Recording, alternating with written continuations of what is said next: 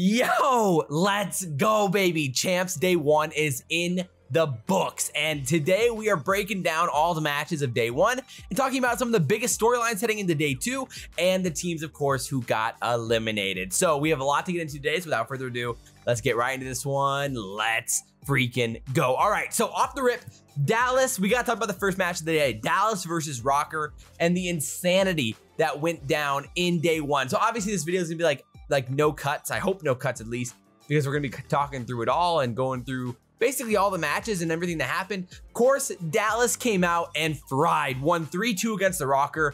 And map one, Shotzzy came out and was making a statement like, yo, don't forget about me. I'm insane. And Shotzzy looked like he was dialed in. He was cracked. And they just played great. I mean, they're really their second rotation and their P4 was the difference in that in that map. And of course, we talked a lot about the Rokkr coming into this tournament and how we we thought that Dallas might come out here with like two weeks of preparation in heading into this series with uh, I thought they were going to look really good and that is exactly what happened. Dallas came out and looked incredible, like legitimately insane. And that P4 was just absolutely the difference in that first Moscow hardpoint.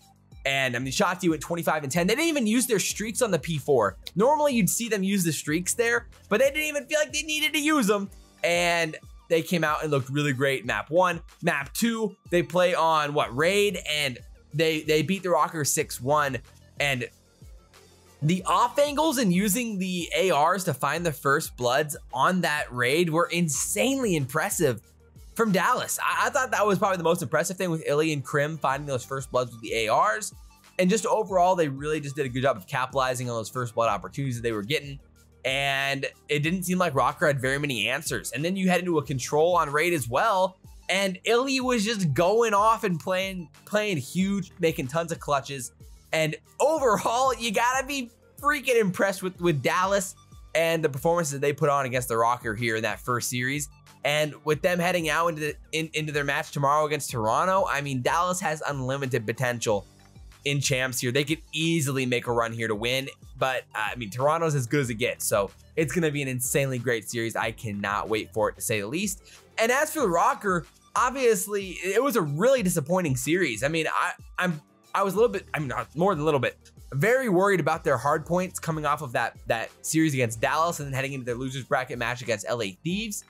And there was just some big time mistakes and the P4s were just totally, to like the P4s on Moscow, I, it just felt like they were really non-coordinated and the ARs just weren't doing a good job of maximizing their positioning and we're getting gunned. And that's a big time problem. And, and with Shotzzy roam, roaming how he was roaming, I was like, man, this could be a problem for, for Rokkr heading into this next series.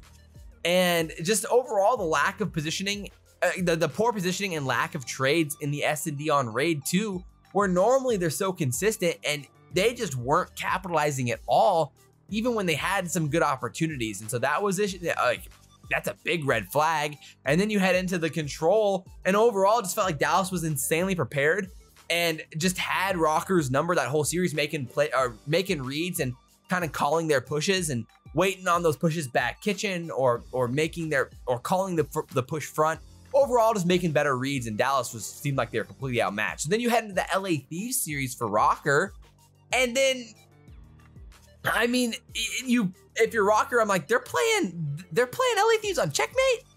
I mean checkmate's the one match where we know LA Thieves can play well. I mean that's a guarantee.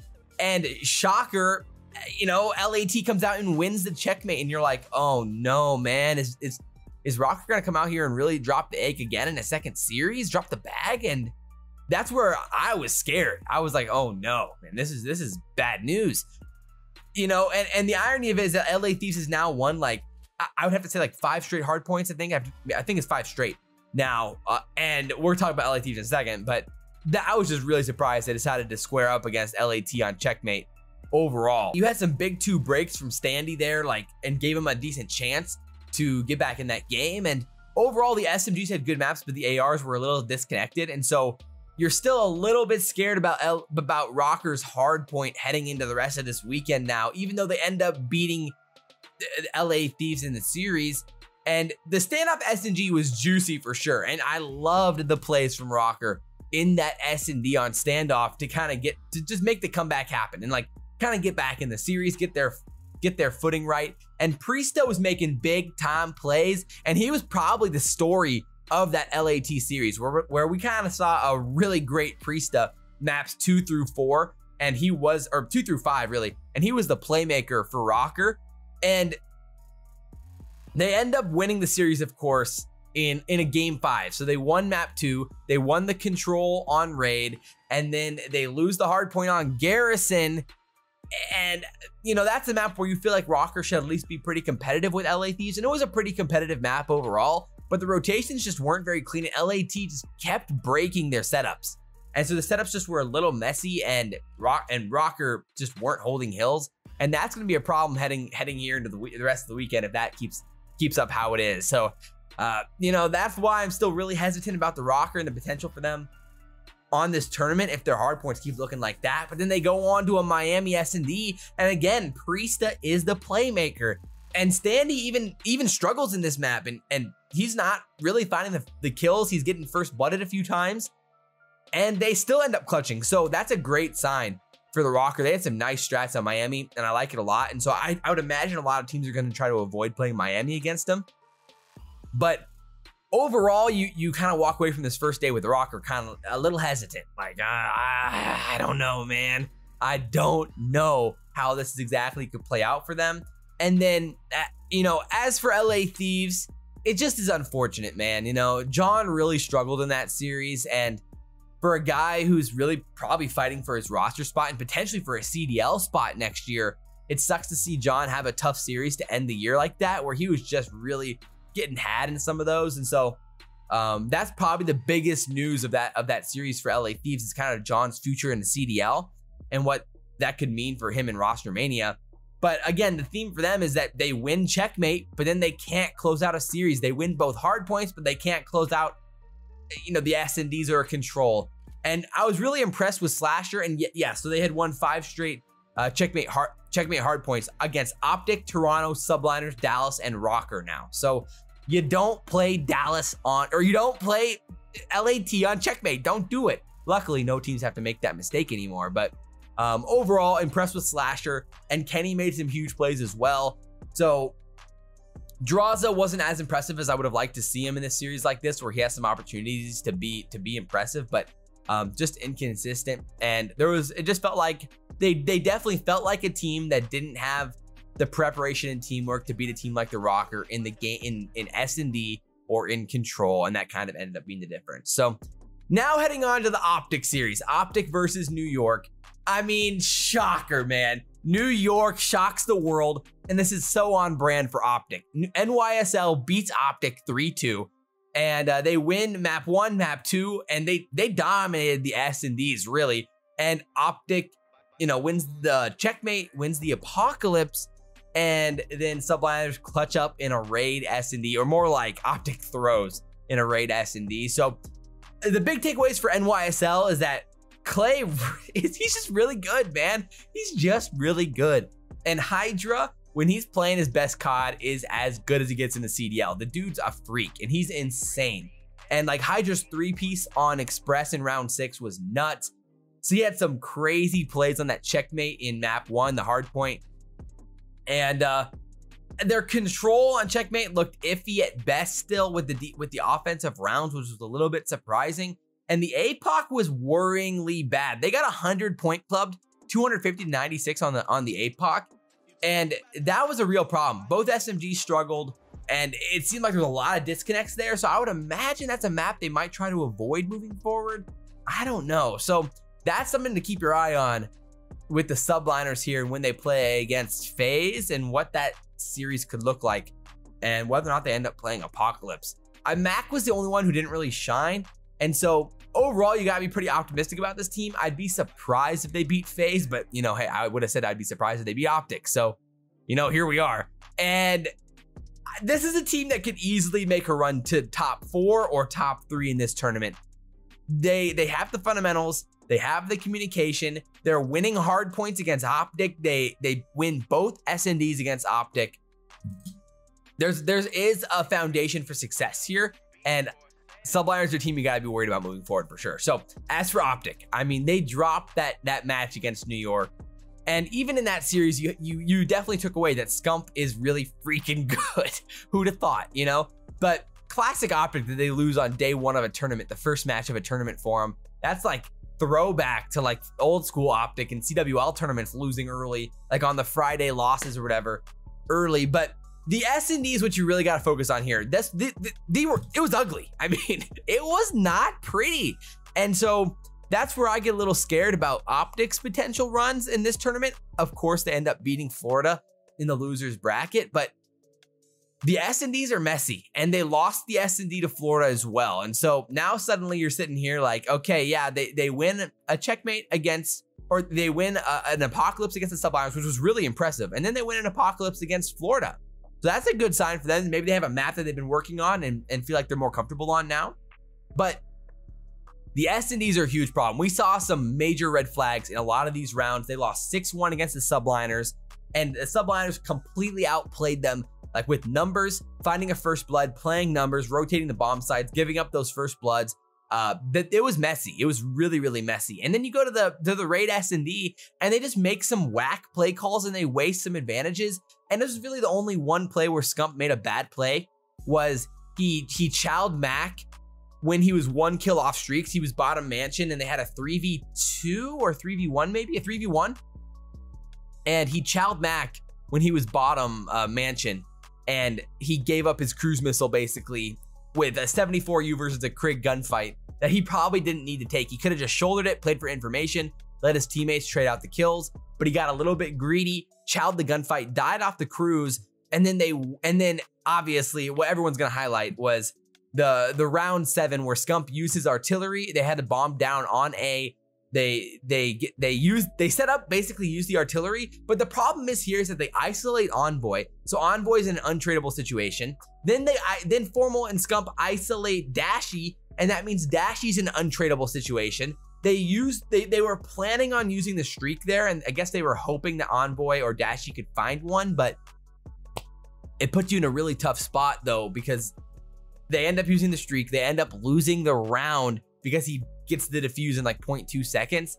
And that was a that was a bad play. I mean, that was just overall tough. And there's a few moments there where they just they let their players get isolated. And like there's a moment where where Envoy hit top laundry and Dashy just wasn't anywhere near for a trade. He was like back jungle and Envoy got overly aggressive to push top laundry in a place where Dashy couldn't trade the kill. And that was the big time issue for the round. So there's just those things that get me a little bit nervous. And then like on Moscow against Florida, like they, there was a round, I think it was round three. It really highlighted some of their bad S&D where they, they basically choked a 3v2 where Scump, Dashy, and Envoy were last alive. And Dashy gets isolated. He's all alone inside of gas station. But then instead of getting together in a 2v2, Envoy plays towards B bomb, Scump plays towards A bomb. Envoy goes down, they end up losing the round in the 2v1 for Scump. And like, you're just like, A, Envoy could have helped Dashy. B, then, uh, then Dashy or Envoy and Scump could have got together even after Dashy died, played the 2v2 together. There's just these things where I just don't feel like they maximize their numbers well and they rely on the the the the 1v1 gunfights or trying to find the pick even at 2v1s and it just doesn't work. And so the S&D is like a real problem right now and I I it's those are things that are kind of difficult to fix generally unless you just go into each match like yo, we're huddling up, we're playing together. Every opportunity we have a chance to play together, we have to do it. Like those things can be semi tough to fix. So we'll see if they can do it, but that's the big time problem heading into the next few days here for Optic. I mean, it's good seeing Scump dominate. He's in champs form. He looks great. I mean, they won a Moscow against Florida where Formal had nine kills. He went nine and nine. And they almost 100 point club Florida, 250 to 102. And Formal was literally nine and nine. That's crazy. And Dashy had some impressive plays. Envoy went off on Apocalypse, and Formal made some nice plays. I mean, Scump made some nice plays overall, they look really, really good in the respawns. I think now they came out cold against the subliners, but they got to figure out these search and destroy. So last team here, as for Florida, man, it's tough, bro. They're eliminated, obviously, from the losers bracket. They lose 3-1 to Optic. They had the really nice S&D on standoff where, where they had a lot of really great plays. But the SMGs continues to be the theme where it feels like they get isolated from from their SMGs from the ARs and they just don't find those they're not maximizing the ARs lines of sights a lot of these times where the SMGs aren't as aware of the AR's positioning as they should be and they're over peaking and over channeling and the ARs aren't able to effectively trade the kills and the SMGs had some real problems especially on APOC where it just felt like they were getting they were really disconnected from the rest of their team they're a little isolated and so Neptune and Havok had some real problems on APOC, and their control is absolutely awful. They they've lost six of their last seven uh, controls, with their only win coming against LAG. So it's a bad sign. They had they had they had a Owakening using the 74U off the break on checkmate, which I thought was a fun time on defense, but. Uh, yeah, that team just has a lot of problems. I think we're to see some big time roster changes with these guys for sure. I'd be surprised if if if three of them stayed together, I'd be very surprised. I think only at max two of them would stay together. Maybe, I think Owakening and Neptune are most likely to stay together. We'll see about Skyz. I think Skyz is going to have some pretty nice offers from other teams in this offseason, but we'll see what happens there. Havok's interesting as well, but I, I don't know if I see him returning either. So we'll have to see, but um, we'll talk a lot about Florida. Obviously, they had a lot of issues there. And those roster moves are going to be juicy heading here to the end of champs and into next week and the following few weeks into roster mania. So this week's to be crazy, man. I think the big takeaway is that Dallas is a legit contender to win this tournament. Subliners have to be considered as a contender. Now, they, I think they very likely will finish top four for sure. They look like they have that potential to, and they're in a pretty good spot too now. The big time question then is what happens with with Optic in the losers bracket? What happens with the Rokkr in the losers bracket? And how do these two teams play the next in, in against the losers from the winner semis? So it's going to be a wild weekend.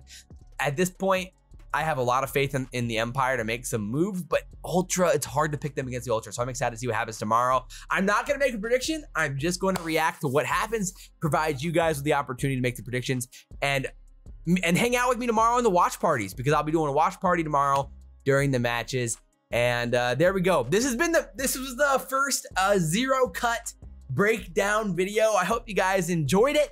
If you guys did, drop a comment down below. I want to hear what you guys have to say. Who's your favorite now heading into this weekend? I, uh, spoilers, I would say FaZe is my favorite. Still Toronto 2, Dallas 3, New York 4, Optic 5, uh, ROKKR 6. We'll have to see, boys. I hope you guys enjoyed the video. And like, comment, subscribe. Share the video if you guys really enjoyed it. As always, guys, I'm your boy, Salvation Elite. And guys, we will see you next time. I'm out.